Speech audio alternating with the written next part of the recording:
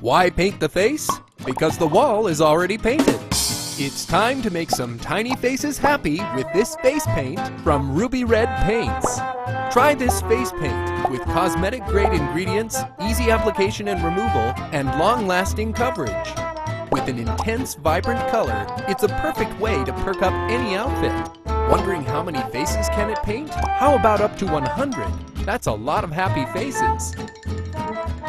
Need more reasons to shop with us? With the largest selection of clown supplies, expert clown assistants and guides, we help you make people smile. So clown around with us at Clown Antics.